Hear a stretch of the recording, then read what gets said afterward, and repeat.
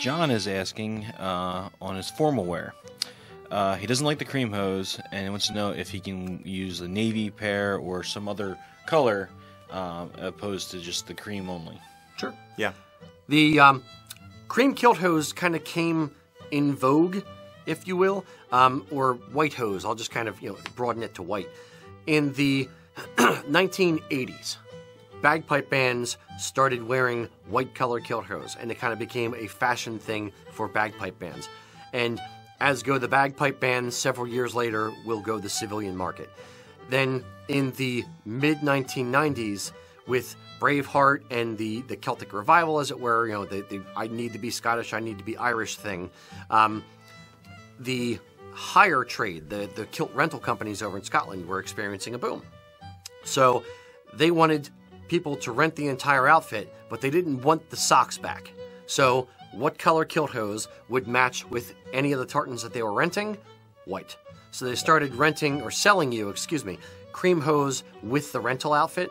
So all the guys that were getting married in the mid 90s and late 90s were all wearing a formal outfit with white hose. So it kind of became the de facto Yeah. formal, Formal look. pair of Yeah. kilt hose.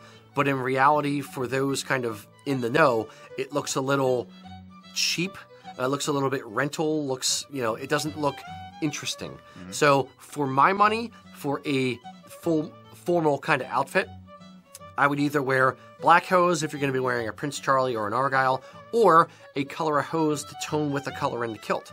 So, for instance, if I'm wearing a weathered tartan, you could wear a charcoal pair of hose, or a gray pair, or a brown weathered pair of tartan, you know, weathered kind of color um, pair of kilt hose to match this tartan. For Eric's, a pair of navy would go spectacular. Again, charcoal or like an, a Lovat blue, an ancient kind of blue color would go very well, and that would be just as formal. It's you don't have to wear cream hose or black hose to be formal. That's kind of I don't know where that started, but it's just not true.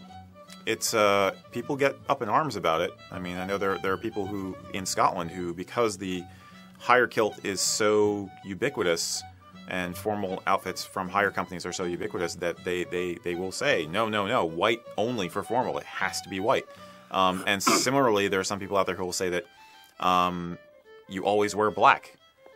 You know, or you know, only only Americans wear white hose, and or only black hose are appropriate for for formal. Um, so there's a lot of it, it's it's a very gray area for a lot of people, a lot of misinformation. I mean, then conversely, you have the traditionalists who will say that the only really traditional hose are like argyles For and, formal. for formal. Yeah. and and and if you go back 50 years or 70 years ago, that's correct. You know, diced diced, hose or argyle hose are, are are the formal hose. So yeah, Fashion evolves over time. jinx. yeah, Fashion evolves over time. So Mm-hmm. what was traditional 80 years ago or so in the 1920s, 30s, 40s, 50s um, is kind of fallen out of fashion. Then it became, you know, the colored hose, solid colored hose were fashionable up through the, you know, mid 80s or so, and then the pipe band started wanting to wear a solid color white hose. So then the civilian market kind of you know meandered that direction as well. Right. So there's no there's no absolutely you must or there's no how dare you. It's just a matter of your personal preference and kind of where you fall and what you like. yeah. I would go peacocky and uh, play with the colors and have fun with it because Yeah. that's part of the fun of this. Yeah. A lot of ado about a color on your socks. Yeah, yeah. Seriously.